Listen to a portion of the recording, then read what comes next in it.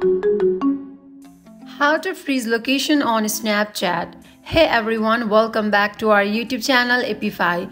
So without getting further delay, let's jump into our video. First of all, open Snapchat. Make sure you have already downloaded Snapchat on your device. Now go to location icon that is located on bottom left corner.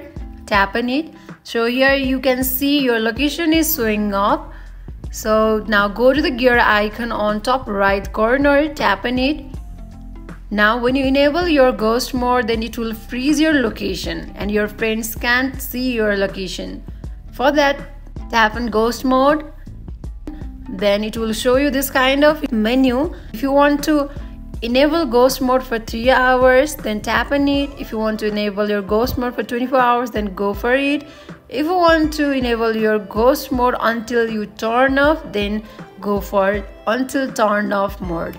So let me go for three hours.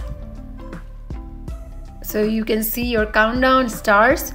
Now your friends will not see your location until three hours.